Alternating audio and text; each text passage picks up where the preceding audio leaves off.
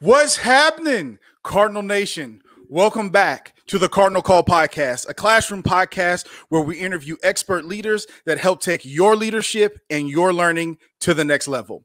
Let me start off with a quote today Optimism is the faith that leads to achievement.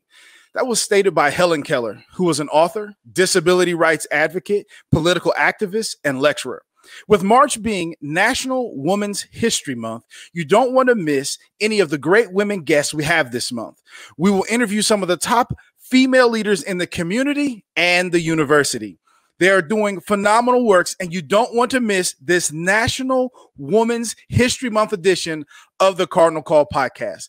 I am Dr. C. Sean Owens, also known by my social media monikers. Whoops, as you can see somewhere on my screen at the Professor Owens, where you can find me hanging out and hiding out and making some great posts out there.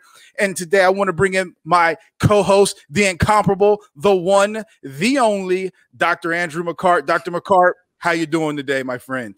I'm doing great, Dr. Owens. Thank you for that warm introduction. And um, we need it with the weather outside. Good to have a warm introduction. And I'm glad to be here. Um, as our listeners know, a big part of our organizational leadership and learning program is a healthcare leadership track. And we have a, a great healthcare leader with us today. Uh, oh, definitely. Definitely. Yeah, definitely yeah, so she's leading high performing teams. Uh, she's doing great research, and I don't want to take away your introduction. I've got a bad habit of doing that and uh, stealing your thunder, but sometimes I get excited and uh, can't help myself. So I, am glad to be here. This is going to be a, a, very interesting interview. It's impossible to steal my thunder. We're we're we're a team, and this is what we do. But before we jump into today's classroom podcast with our special guest, I want to let our listeners and viewers know this that if you or someone you know wants to learn to lead with compassion and expertise in a changing world and obtain a degree from award winning faculty within a nationally recognized program in the area of leadership and learning, go to ufl.me backslash BSOLL dash podcast. Now that we've got that out the way, let me introduce our very special guest today. She is the surgeon in chief of Norton's Children's Hospital and the chief of pediatric surgery at the University of Louisville. So she knows a thing or two, as Dr. McCart said, about leadership and leading and building high performance teams. She's a guru of things connected to pediatric surgery and trauma, but I will let her tell you all about those things because she's an expert in things I can't even pronounce. She's a mom, she's a wife, she's a leader, and also for those out there, she's a tennis aficionado. And she is a native of the great city of Louisville. So get your pens, get your pencils, get your notepads, your iPads, your memo boards, whatever you take notes with. Get ready to learn from today's special guest, the one, the only Dr. Cindy Downard. Dr. Downard, how are you doing today? I'm doing well, thank you. Appreciate That's, the opportunity. Ha, we are uh, just thrilled to have someone of your caliber as as the guest today. I I can't begin to. I mean, your resume is phenomenal, by the way. Just FYI, we could talk just about certain highlights, but we'll try to cover all of it. Um, but here on the the Cardinal Call podcast, you know, we kind of like delving into leadership and learning, and you know, for our listeners, we know we like to have a little fun with our guests as well. But um, let me uh, let me start off by this. Let me ask you this first question, right? So, leadership consultant Warren Bennis said that leadership is a capacity to translate vision into reality. That being said, Dr. Downard, how do you define leadership? Well, I think being a leader, you have an identified person, usually, or a team that is a leadership team or a leadership person. Mm-hmm. That group's job is to as you said to to translate the vision into action. In order to do that you really have to be able to be a consensus builder to get everybody on the same page to bring your team to their highest level of performance. But then as the leader you have to be willing to take that final step and be responsible for that performance. So mm. getting your team to a goal i think is important but um, being able to have that vision and to translate that vision into action is is a real skill that can be honed. Good, good, good. Dr. McCart, you want to chime in on this? Well, sure, I'd love to. And I, some of the words I pulled out of there were responsible, vision, team, action, which is an important part of that too. Um, well, I want to ask you, Dr. Downard, uh, looking at your research here in the Journal of Pediatric Surgery, Pediatric Surgery International, the Journal of Surgical Research. I mean, you are a, seems on the cutting edge of uh, research and medicine. um, when you're when you're on the cutting edge like that, uh, it's probably gets to be more of a narrow pool of who to look up to uh, for leadership and mentors. And so this the second question we want to ask you: Who do you think best exemplifies your definition of, of leadership? I, I, think you need to be open to different types of leaders for different goals that you want to accomplish. So, you know, in academic medicine, it's usually a tripartite mission of clinical care. And so you want to figure out who's the best at what you want to do clinically, who takes the best care of patients and try to emulate them. Research is the second part usually. And so if, if you know the area you were asking about specifically if you're looking for the best researchers they may not be in your area of expertise they may not be pediatric surgeons they mm-hmm. may not even be surgeons um, and then figuring out who the best teachers are. That's usually the third part of the mission. So it is unlikely that one person is going to encompass all of those different missions. And so being open to suggestions from other people as far as how to best accomplish each of those goals, I think is important, especially if you're a developing leader, figuring out how to emulate those um, those different areas. So I, I had different um, individuals both within the University of Louisville and at other institutions who I look to for guidance, for inspiration, for a very critical assessment of how I was doing from point to point. And I think that they being open to the those suggestions is very important to coming to the next level. I think that's a great point. We talk in our healthcare leadership program about benchmarking, and it's it's similar to what you were saying. With it may not all be in the same area, so to create a, a better healthcare leader, we'll grab quality insights from Toyota. We'll grab uh, financial aspects from some of the best accounting firms out there and strategic vision from uh, maybe some of your other world class organizations that, that we discover diversity from others. And so it's, uh, I, I, think that's a good point, and we we try to do that um, because it can be hard when you're trying to excel. And you mentioned a three part approach there that to find uh, many that can that, that you can emulate. So, well, Dr. Owens, what do you? Yeah, please. Go ahead. One one quote that I really like. Um, I believe it's uh, it's I forget which French philosopher it is, but chance favors the prepared mind. And so I think that specifically in healthcare, if you're looking outside of healthcare, as you said, at, at Toyota Process Management or uh, whatever whatever financial um, models you want to look at, you really need some alternative solutions a lot of times in healthcare. And I think you really have to look outside of healthcare in order to come up with the best answers sometimes. So you're you're always looking for a different angle or a different way to do things. So thank you. Uh, nice. Dr. Owens, please. Yeah, so I mean, we kind of alluded to it a little bit in your introduction, but um, could you kind of tell us a little bit about your leadership journey, how it started?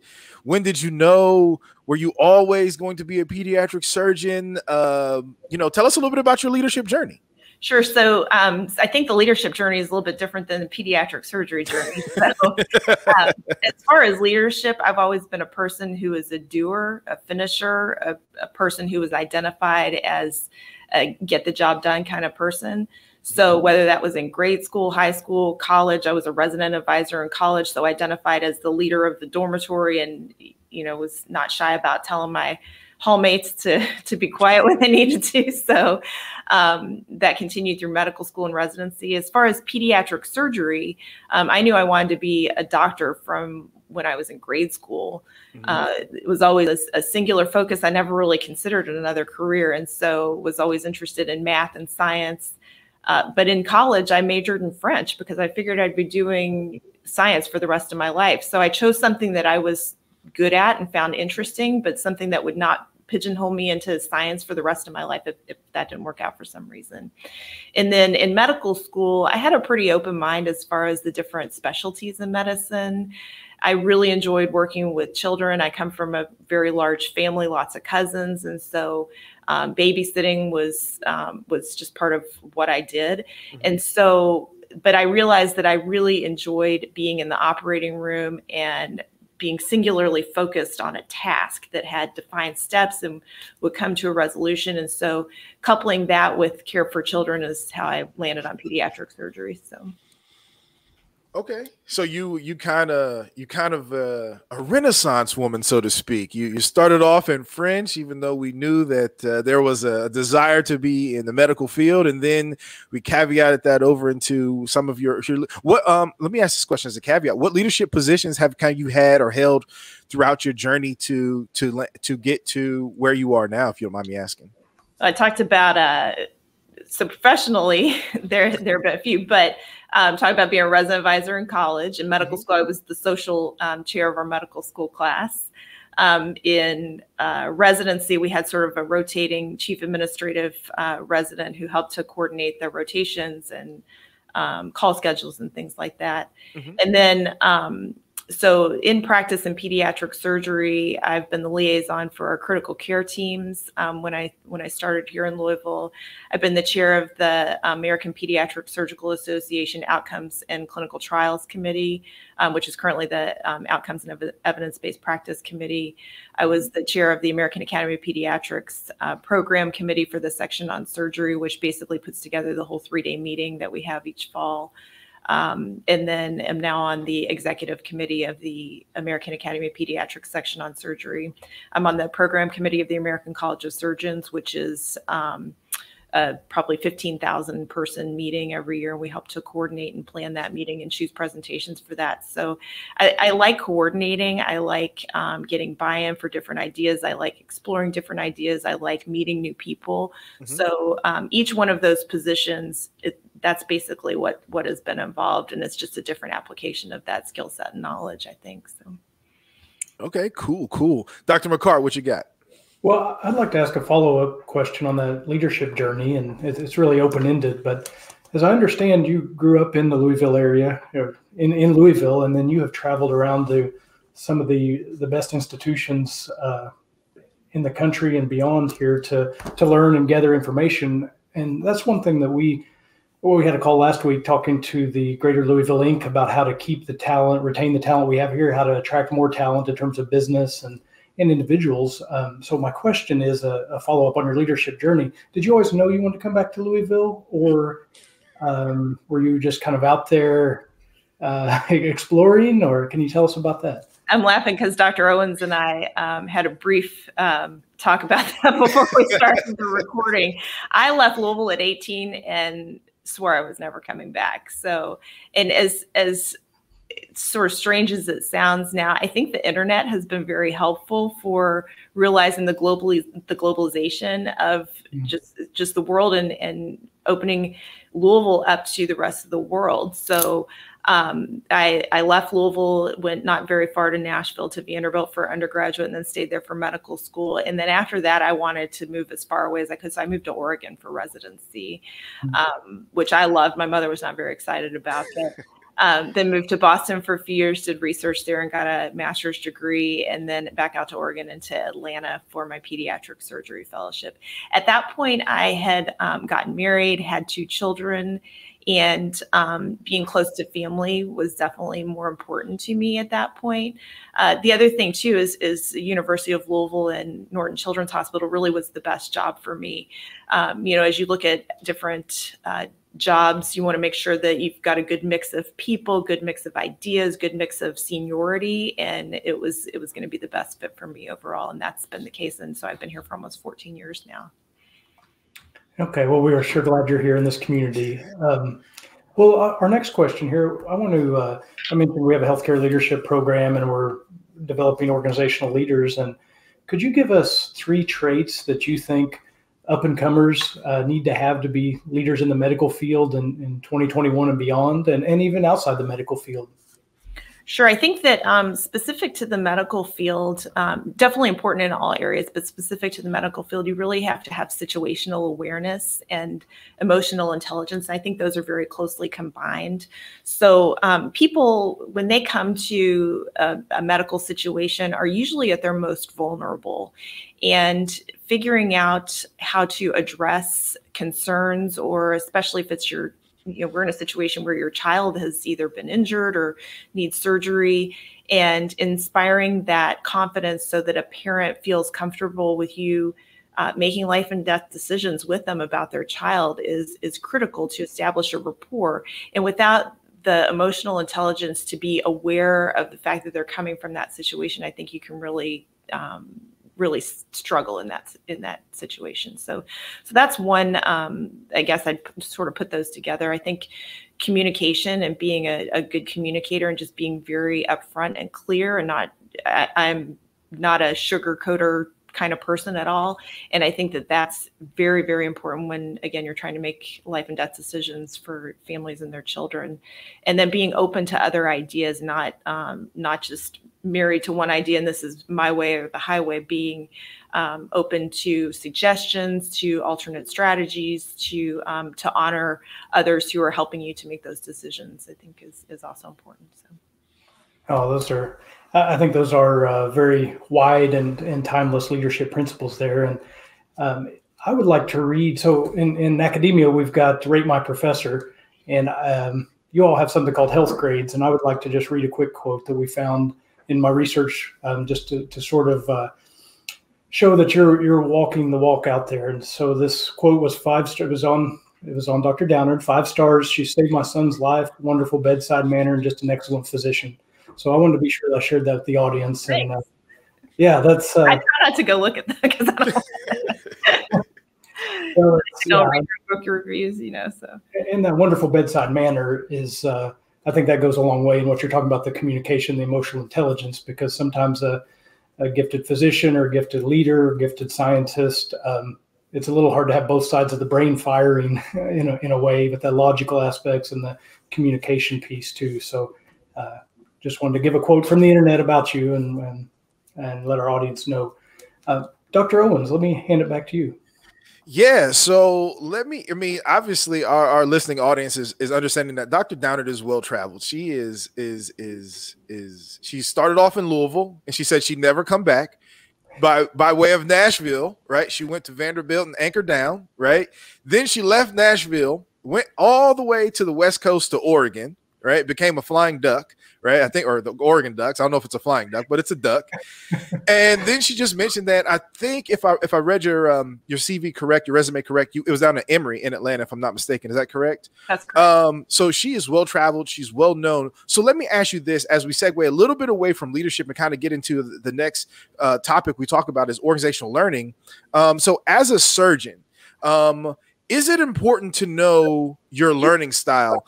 And I asked that question because, you know, um, before I got full time into to being a, a teacher, I was full time in being a college football coach. And I knew how critical it was that in order for my teams or or my unit to perform well, I kind of had to know everybody's learning style in order to make practice more efficient in order to make the games you know obviously our outcomes work the way they needed to to work. Um and so just from obviously i have no medical experience. This is a question just off curiosity. You know as a surgeon which you are um is it important to know your learning style? Absolutely. I mean i think that medical students as you go through your third and fourth year clinical rotation so the way medical school set up is you're generally in the classroom the first two years of medical school of course not right now with covid but um, but more book learning studying test taking things like that. And then the third and mm-hmm. fourth year are clinical rotations where you're in the hospital in the clinic seeing patients um, applying what you've learned in those first two years. So i think the first years are sort of like learning a foreign language and understanding how the human body works and then the third and fourth year more applying that knowledge. As far as learning styles though i think that you migrate a little bit to different specialties based on your learning style. So, certainly, if you're not somebody who's interested in doing anything with your hands, surgery is probably not going to be the field for you. Mm-hmm. Um, but understanding how to engage everyone. So, we have medical students who are never going to be inside an operating room ever again. We need to make sure that they get the best out of their rotation and understand what they need to know about surgery, taking care of surgical patients, how people recover from the insults of a of an operation, um, and so reaching each person where they are is very important to understand the learning styles. So, um, you know, and I, I think that self-awareness too is important of your own your own learning style, so that you recognize what keeps you engaged, how you uh, can assimilate that knowledge best, and then apply it in a real world situation. That's great. I got some great nuggets from that. Thanks, Dr. McCart. What do you have?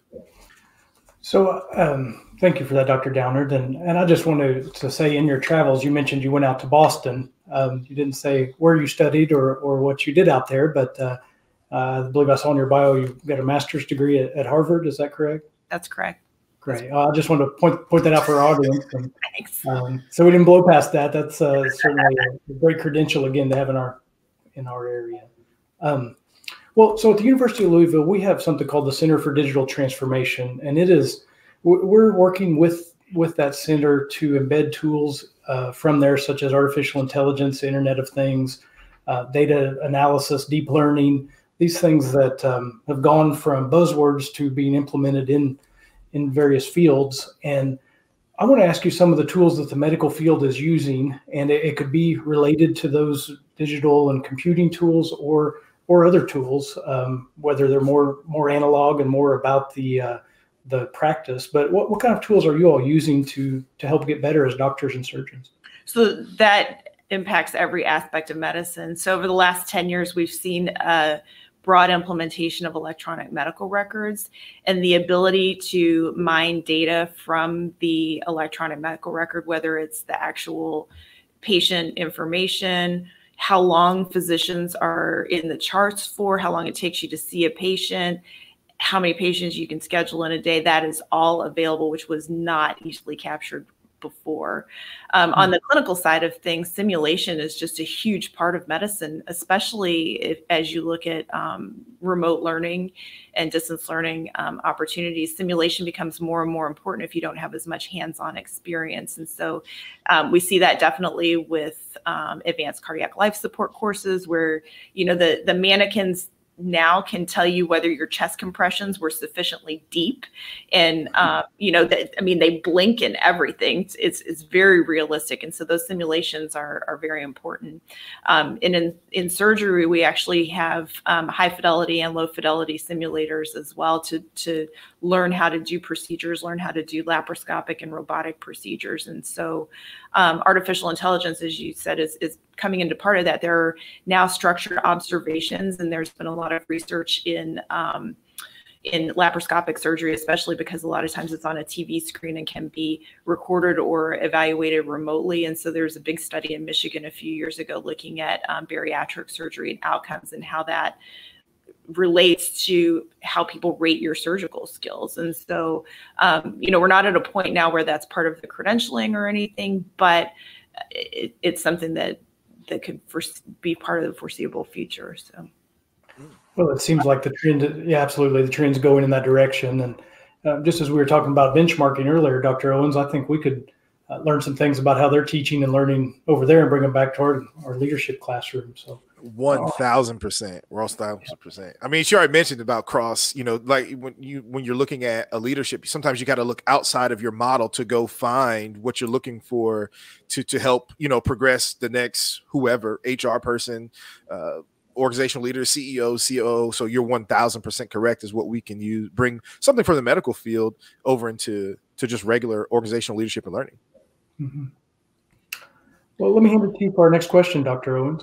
Sure. So let me ask you this. Um, this is a, I, I don't know. I mean, we were just kind of talking about bringing things over. So, um, being a medical professional and a leader, what are three things you wish uh, a new employee, a new medical student, someone coming straight from med school um, that's green or a rookie, you know, as they head into the workplace, as they head into the medical field, you know, what are three things that you think are, are critical that you wish they um, that you wish they knew they knew because they don't know, even though they think they know. I hear you though.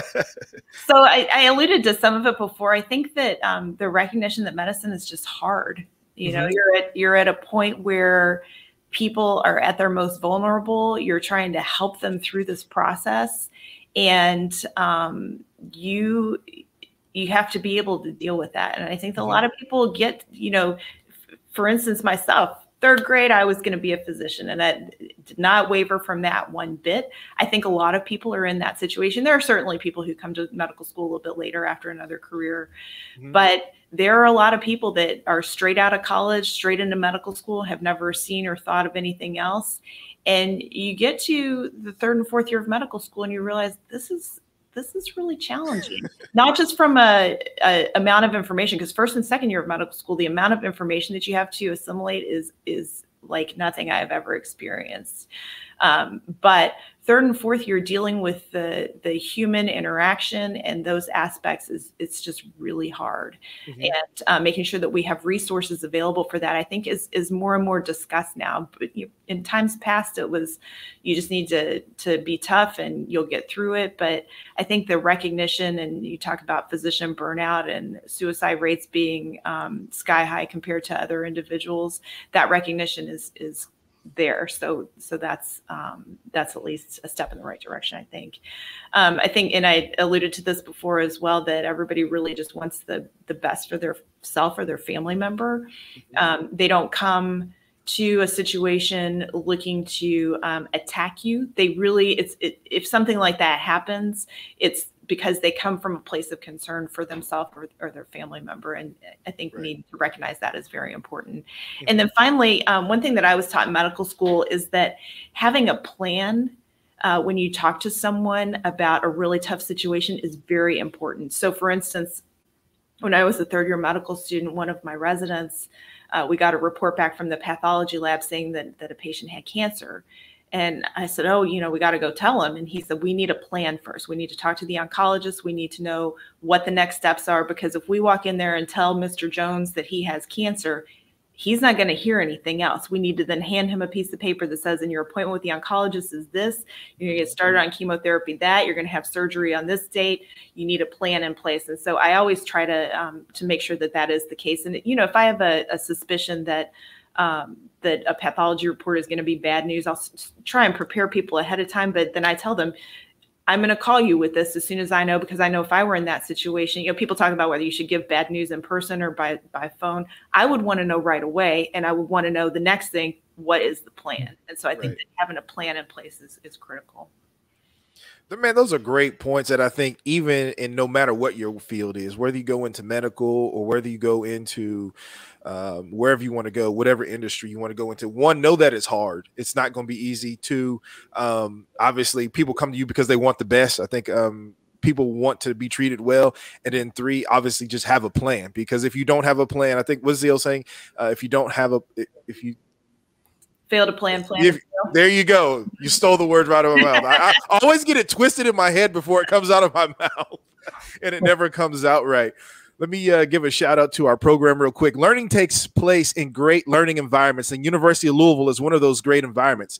Come challenge yourself to lead with compassion and expertise in a changing world and learn from award-winning faculty such as Dr. Downard, uh, and lead award-winning faculty in a nationally recognized program that specializes in leadership and learning. Check out our bachelor's and master's degree programs at u of l.me backslash podcast dash OLL. Um, let me segue into our, our last point, or not our last point, but we always want to give you an opportunity to kind of talk about things um, that we feel are near and dear to what our listeners are listening to, as well as things that are near and dear to you. Uh, one thing I want to talk about a little bit is about women in medicine. Um, and reading your bio, I noticed that you kind of, um, I believe when you were at Norton, there was a, a, a female surgeon prior to you, if I'm if I mm-hmm. read that correct. So you kind of took over after another woman in leadership, which is a great thing. But um, can you tell some of our listeners the challenges of being um, a woman in medicine and kind of leading the way at this point in time? Sure. I think that it's a unique time for women in medicine because uh, my predecessor, Dr. Mary Fallat, she was the surgeon in chief at Norton Children's Hospital for 18 years before me. And in um, her generation, and you know, Dr. Karen Deveney, who was my program director in general surgery, they really were in a situation, especially in surgery, where they were a lot of times the only woman in their definitely residency class, if not their whole surgery residency program. And I mean, that's like 50 people. They would be the only one. Mm-hmm. So the the generation ahead of me uh, really were the trailblazers, particularly in surgery. When I graduated from medical school, we were 50 50 gender um, mix in medical school. So had come a long way since the 70s and 80s in that in that regard. I do think though now the recognition of implicit bias and um, micro and macro aggressions in medicine, um, you know, both based on gender and um, ethnic and racial diversity. It's it has a name now, and it's something that we have experienced for our entire lives and entire careers. But the fact that it has a name and is actively being addressed, mm-hmm. this is a really opportune time to uh, to be a woman in medicine. So.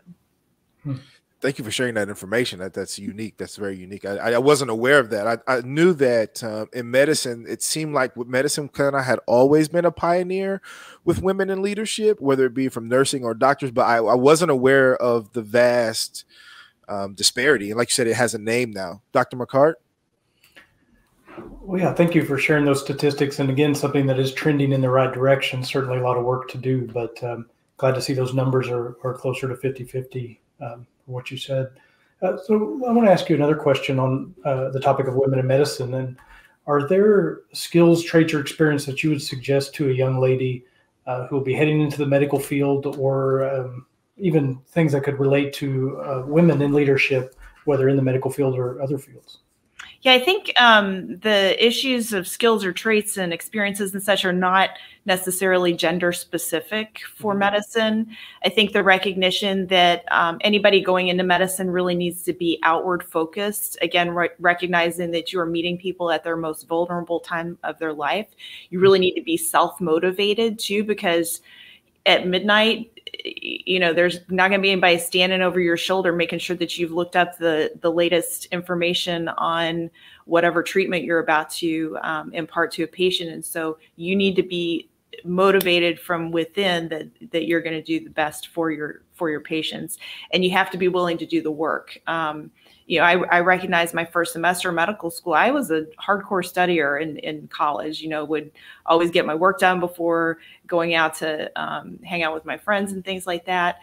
I was studying every night in medical school first semester till 10 p.m. I mean, nose in the books and was just not not making it. And so I recognized I needed to study harder. I needed to stay up that extra hour or two hours to to put the time and the work in. Mm-hmm. And it made a night night and day difference for me personally. But you really have to be willing to um, to dedicate um, that time and effort. And and and that's um, not specific to medicine, but it's definitely part of medicine. People talk about, you know, you go to medical school and you never see your, your friends from college and such. Um, there's a reason for that because at midnight on Saturday night, you are studying. You are not out at the bars having a great time with all of your friends. Well, nobody is, hopefully, but um, but it, it, really is a um, a um, vocation, not so much a career, but a vocation that you're called to do. Mm-hmm. I'd like to ask a follow up question a little bit off of our script here, but you mentioned in an earlier response about avoiding burnout, and and I can imagine in in your profession, and I heard a story of a, a surgeon just in the last week that was trying to schedule something on Sunday night because the the rest of the week the schedule is full. And so, how do you how do you draw boundaries and find that balance to to travel and play tennis and and go to the food scene and enjoy the things that we all love to do? Um, and still raised to the ranks of um, you know of high level um, groundbreaking research. So I hope my question made sense there. How do you find the balance between burnout and excelling? Mm-hmm. So um, I think it's a little bit different for everyone. Um, and medicine is is a little odd too because you really don't start your career where you have the opportunity to make a lot of choices until you're usually in your early to mid 30s and so it's this process where you are looking to get into college you know and and sort of asking you know applying please accept me for your college. And then you're asking and and um, you know applying to get into medical school. And then you're interviewing for residency but that again is through what's called the match where they tell you where you're going for your residency. You get to choose what specialty you want to be in but then but you sign a contract saying wherever the match tells me i'm going i'm moving there. And so I, I opened my letter and it said you're moving to oregon. I said oh i'm moving to oregon. So um, so that's that's all a process where you're um, really not in control of your own situation too much in the meantime you're taking on just hundreds of thousands of dollars of debt of educational debt and so mm-hmm. once you get to um, your job when you're actually interviewing for your first position outside of residency um, it is a really weird switch to recognize that you're in the driver's seat. Um, not only where you want to live, what your job is going to look like, what your income is going to look like. And I think um, that's really challenging for a lot of physicians because you've never really been in that situation before. And so it's, it, if I um, have the opportunity to advise folks who are in that situation, so I'm the, the program director of our pediatric surgery training program. And so that means that the individuals who are pediatric surgery fellows are usually about 10 years out of medical school getting their first real job and um, helping them to realize that they have to take an active part in controlling their own narrative and what their uh, position is going to look like. Mm-hmm. Um, and the more that you can make your life look like what you want it to look like, you know, I, I want to work X number of hours a week. I um, and realizing that there's a, a pay differential that comes with um, with working more and taking care of um, more patients and doing more procedures and such. Um, figuring out what that balance is for you and feeling like you're in control of that situation i think more and more um, decreases the likelihood of burnout so. But it's, hmm. it's a challenge for sure because especially as physicians are more and more in employed situations where mm-hmm there's a pressure to to be more clinically productive, you may not have the um, and you have student loans hanging over your head. There may be um, more challenges to take a step back and say, "Hey, I need some time for myself. I really need to make sure that my own personal wellness is is part of this process as well." So.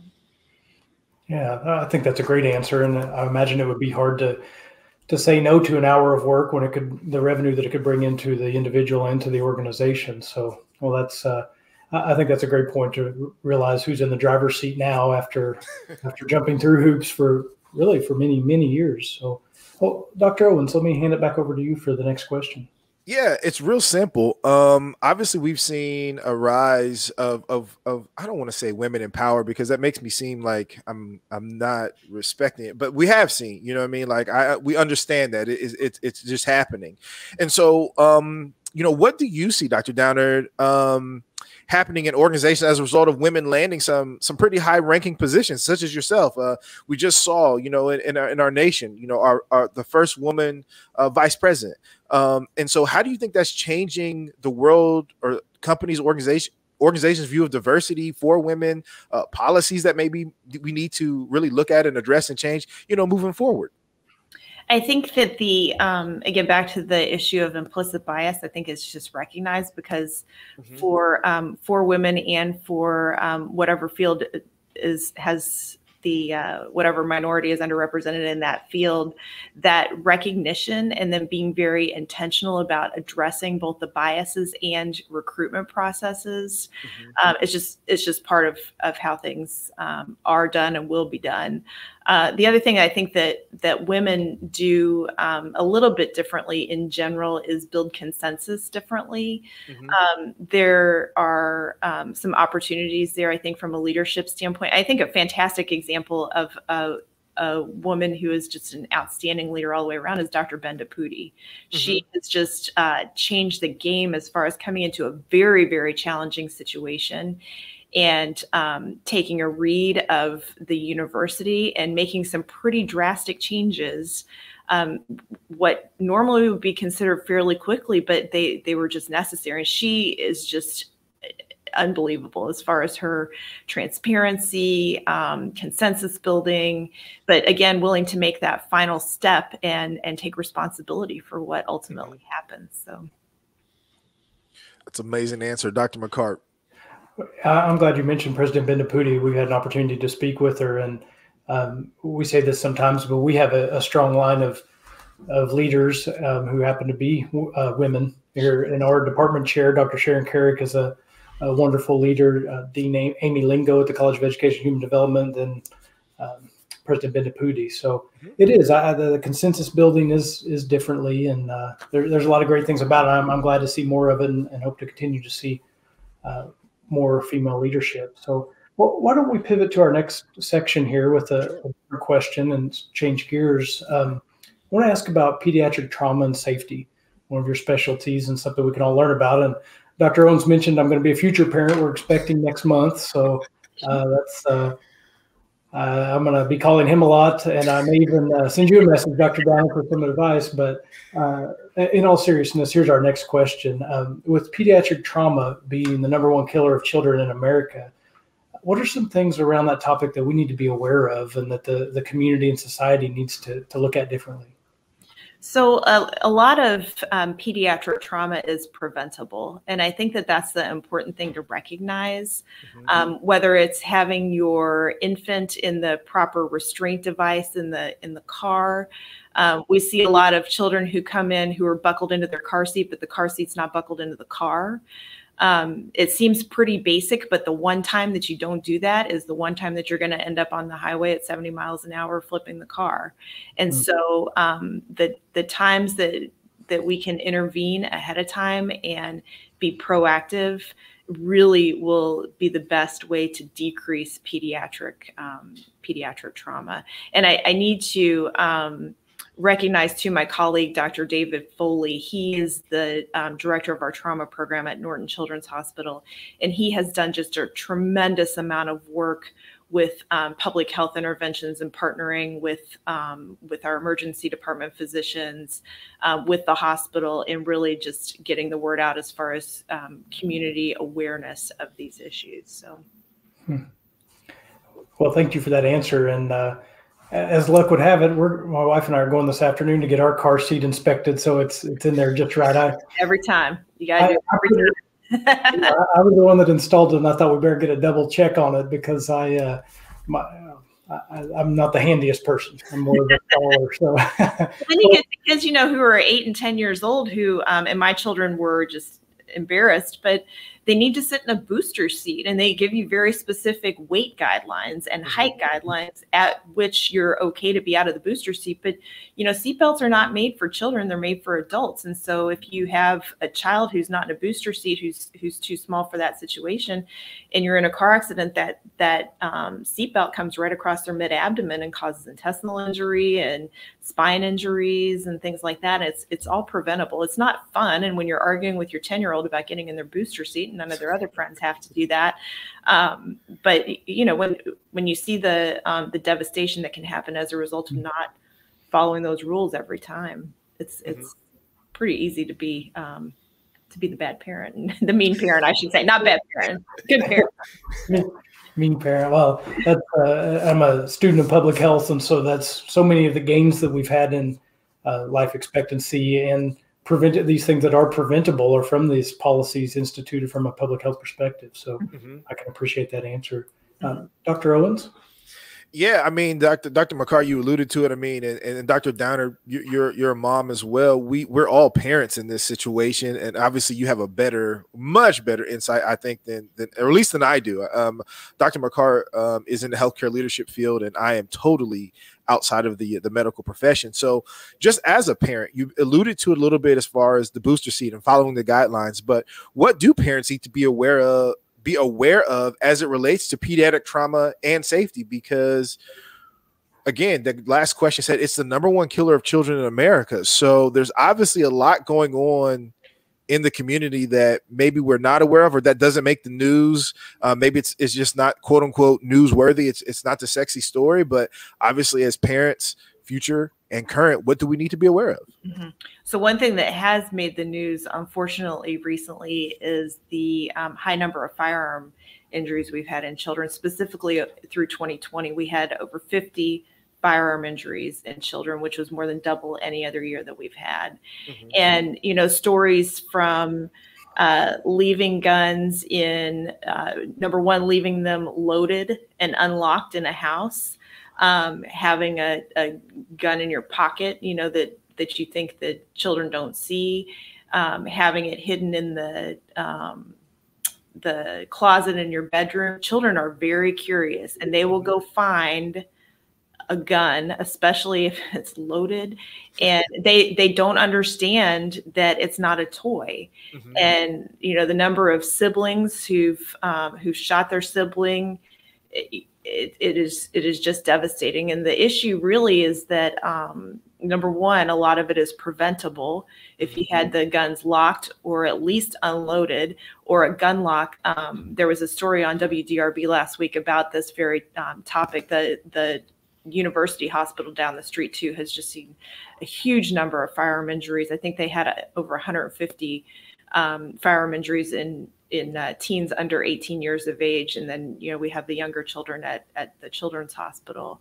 But um, whether it's um, and at the end of that story, they talked about a number to contact to um, obtain a gun lock for your gun, but that is um, largely preventable, and it is a situation where when those children come to the hospital, the damage has been done, and we are trying to um, to catch up, and it's it's not always a survivable injury, and so um, just education in the community about how to safely store guns how to be a responsible gun owner and um, you know nobody wants to see their children shot and mm-hmm. especially die. And it, it is really um, a devastating uh, problem that we have in our community right now yeah, thanks for bringing some some insight to that because I, I I don't think that's always we're always aware of that. You know, I mean, I think we're aware of what makes the news and we kind of think that's it. But you alluded to like booster seats and seat belts, you know, not being made for uh, children, being made primarily for adults. Um, I, I, don't, and I, I know just speaking for myself, the way I was raised, like th- those weren't conversations we had in the household growing up. It was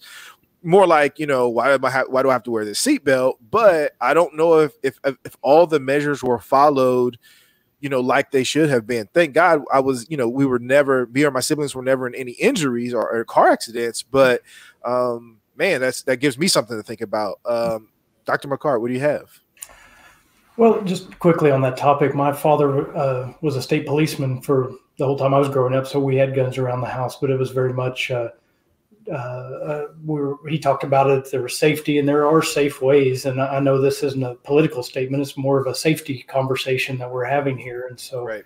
there are ways to have guns safely. And we've talked about technology and all the great advances we've seen in technology. The same thing goes around gun safety. If someone wants to have them, there's there's digital locks that scan your fingerprints to open them up, and so uh, I think there's really no excuse to to not having those safety measures in place. So I, I appreciate you bringing that up as a public health matter. And um, so, uh, is there anything else on that topic of pediatric trauma and safety, or should we uh, anything else, Dr. Downard? Do you like to say on on safety, or should we move to our next topic? Well, one other thing, if you look at the, um, and this is about firearm safety. So you know, we see the smaller children with um, with issues of, of gun storage and things like that. But the other um, uh, travesty that we see is teenagers who have access to firearms and um, suicide is a, is a big killer in the commonwealth of kentucky in teen suicide um, by firearm injury. And so um, you know i recently had a conversation with a friend about whether their um, teenagers were old enough to have the passcode to their um, to their gun safe and so you need you need to watch out because if you look at the Kentucky um, Vital Statistics Registry, it is alarming the number of uh, teenagers who die by firearm um, injury each year. So hmm. think think twice. Do you mind if I ask one more one quick question? Just just uh, as a as a novice in the healthcare field, uh, I know Dr. McCart may know this answer, and obviously Dr. Downard, I'm sure you do. But what ages, when we say pediatric, I know we're talking typically young children or, or young adults. I guess I'm not sure. At what are the ages that pediatric does cover, or pediatrics mm-hmm. um, as a profession? What ages that cover? What ages does that cover? Usually goes up to age 18. Um, we do see um, young adults who are over 18 who are still being seen by their pediatrician. A lot of pediatricians will continue to see um, young adults until they've graduated from college. So sometimes we'll have patients who are 19, 20, but usually 18 is um, is when folks will uh, transition to adult healthcare providers by and large. Okay, thank you for that. well, why don't we um, we transition. We like to have a little fun here, and I'm uh, I've never been accused of being the fun one between Dr. Owens and I, so I think I better hand it back to him. But we we like to uh, ask you some fun questions and, and, hopefully let the audience get to know you a little bit outside of your professional uh, persona. All right, I don't know if Dr. McCart is not the fun one. He really makes me. I, I mean, there was a I'll, I'll, go ahead and say it. There was a text message sent out this weekend that says I don't laugh at his jokes, but Dr. McCart is actually the hilarious one out of the two of us. he, he definitely keeps me on my toes and makes me laugh quite a bit. Um, but let me ask you this. Um, I'm going to go back. We're going to travel. We're going to take today. We're going to travel back in time a little bit because I actually think we can we can answer ask a couple fun questions today. But if Dr. Downard could go back and tell a 13 year old Cindy, if she could give her any wise advice, any counsel, any uh, whatever, um, what would it be?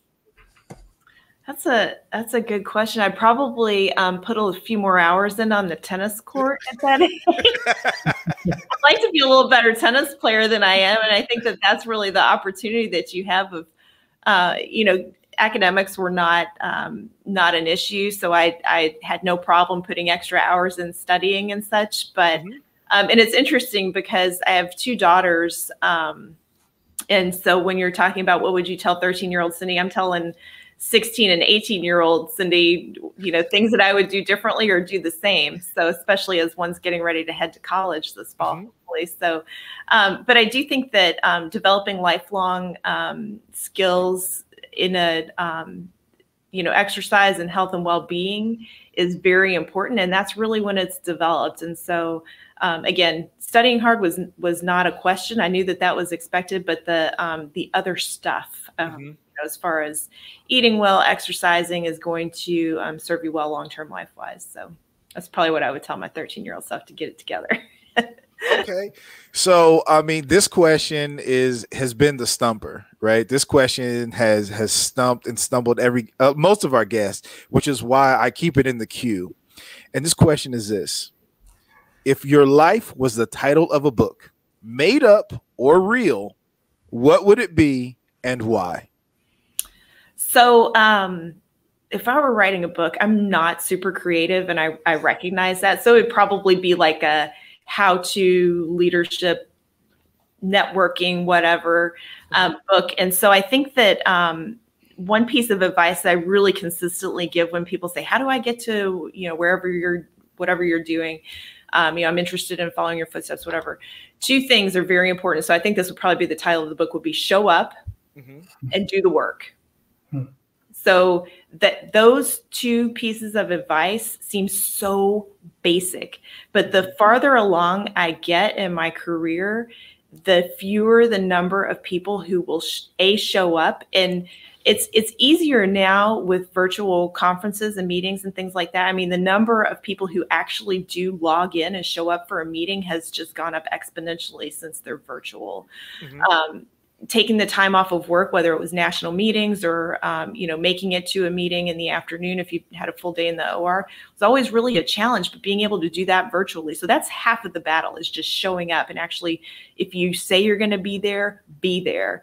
And then during those meetings, work is generated that needs to be done, and it's not you know we're going to show up to the meeting and then talk about how the stuff didn't get done that we talked about last time. You got to actually do stuff in between the meetings. And so doing the work, volunteering, put your name on it and then finish it and come back to that next meeting and say, "Hey, I finished X that we talked about, but I also did Y and Z. And what do you think about going to A, B, and C? That is the easiest way to be recognized for what you're doing. And people very quickly say, oh, that person gets stuff done. I want them to be at the forefront of whatever our next project is. And so I think that that's not healthcare specific. That's that's life specific. So man, that is phenomenal. That's it. That's that's the nugget right there. That's the golden nugget. One, show up. Two, do the work. So don't be lazy and show up.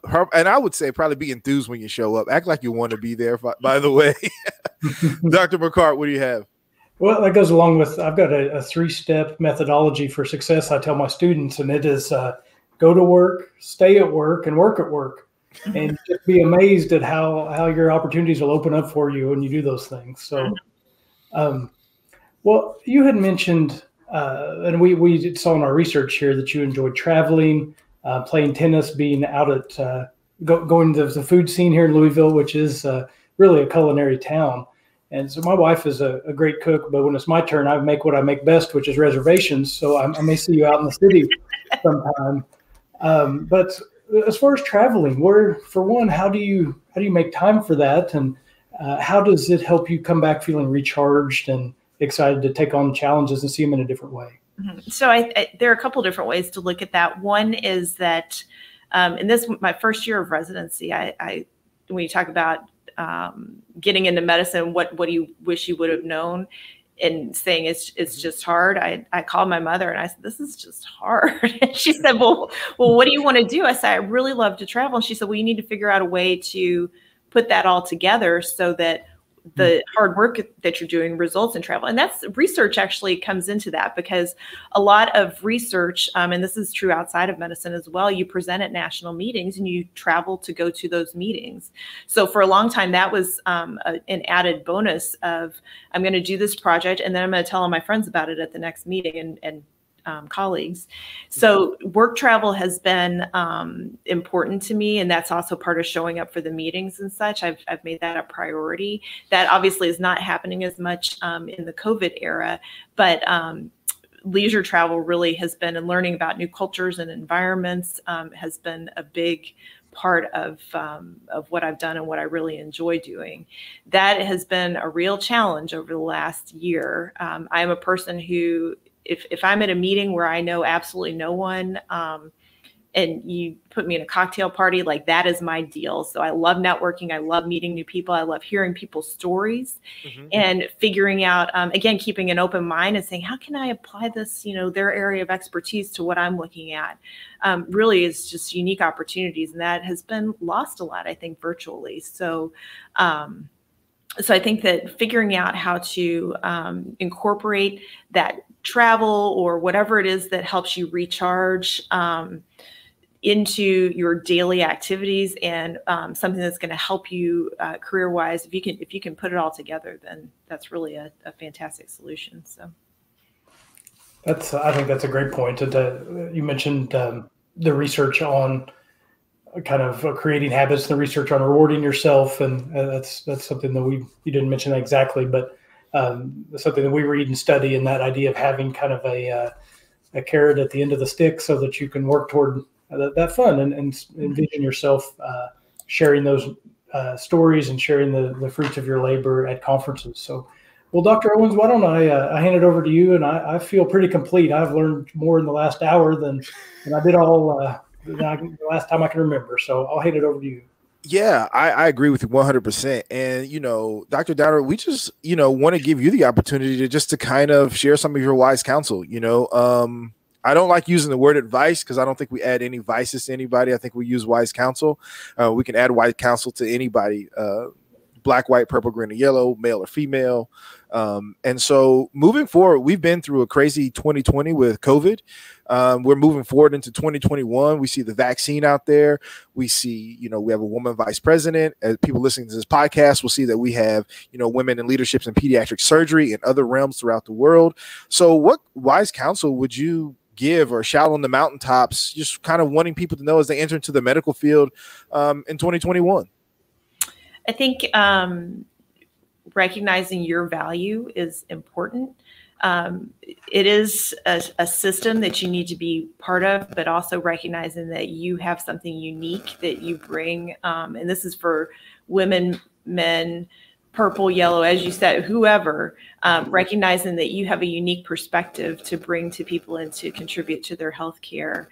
Um, I also think that um, recognizing that there are a lot of opportunities that um, you know and this is true in, in um, not just in medicine but positions that may not even exist yet and to be open to those um, opportunities as they come along and figuring out how to adapt how to learn how to um, move through those different situations i think is is important and so whether it's medicine or business or teaching whatever the the area is i think that learning how to learn is um, even more important now than um, than it has been in the past. And so that's you know when I when I talk to my um, teenage daughters about that and making sure that they are in um, a situation where that is being optimized, I think is is really important.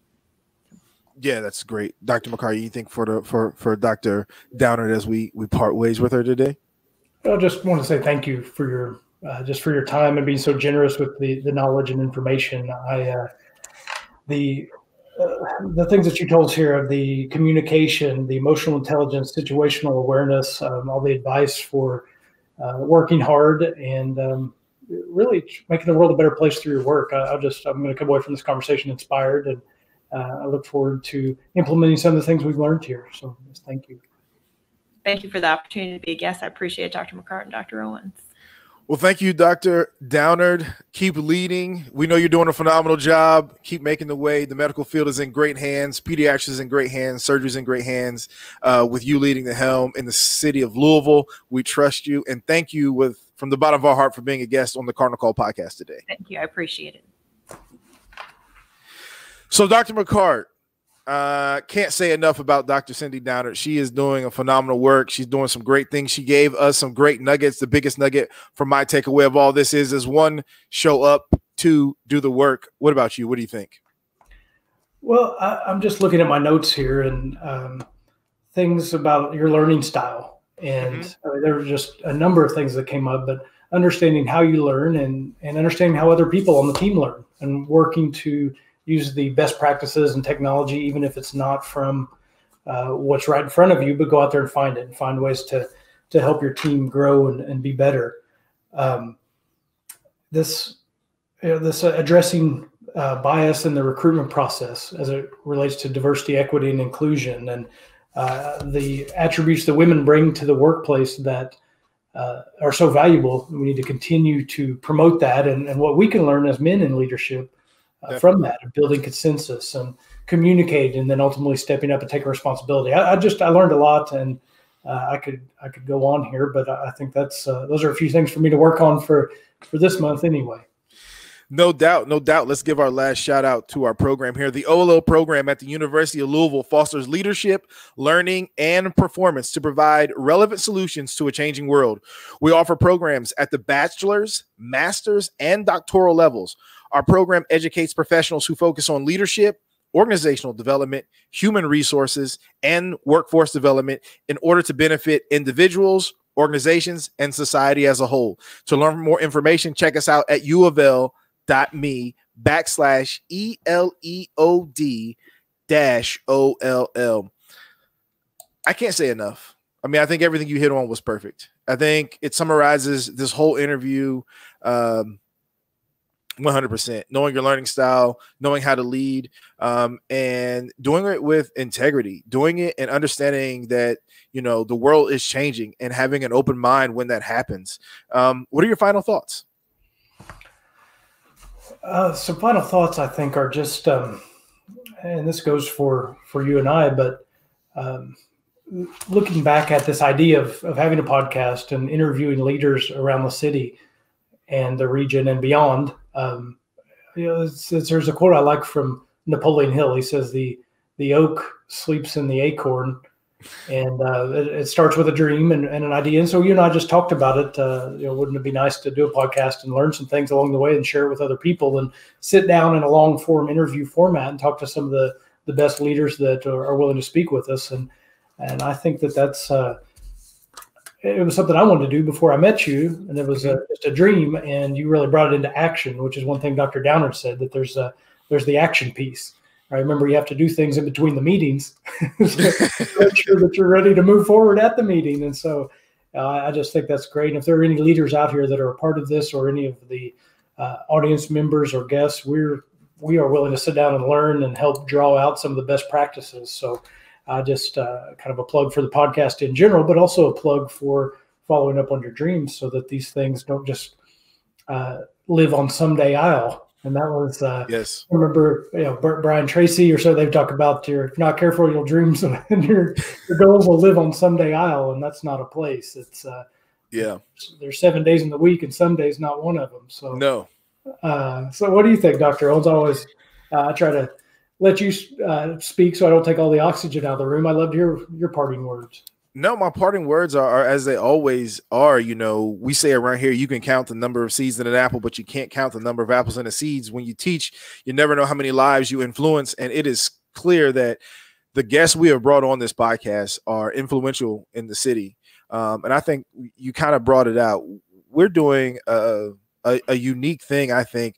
We're highlighting the great things and the great people, men, women, black, white, purple, green, or yellow, in the city of Louisville. And hopefully, we're doing it and, and giving the opportunity to branch out and launch into a national audience so that the world knows what's going on in Louisville. Um, we know. Um, over the summer that there was a little bit of civil unrest and and and and, and maybe people don't see Louisville as as as a great place or as us doing great things. But I think this podcast is a highlight to show that we're doing great things and the people in Louisville are doing great things. And we're going to highlight that and give it to through the lens of leadership and learning, but we're going to promote and push um, the great things that the people in Louisville are doing. And we're going to, when we have this platform, I think that's a, a, great way to do it. And I think as quiet as this kept, you know, hopefully we're making some type of impact and, and being influential in the lives of the people that we interview just as much as they're having an impact and, and influencing our lives as well.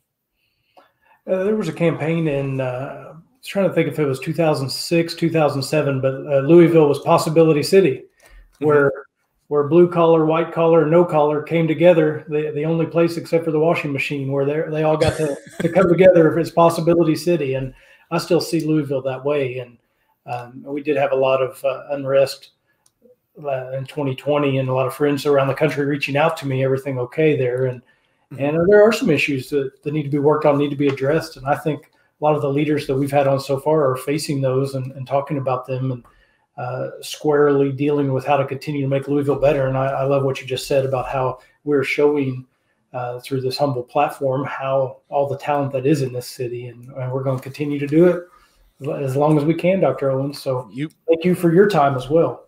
No problem.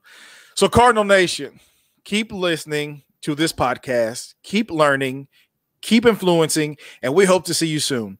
But until then, don't forget to like, subscribe, and drop as many comments as you need in the comment box so that you can be updated when new podcasts are dropping as they drop every Friday, and you have information connected to the OLL pro- program as it is released. So until then, take care and stay safe.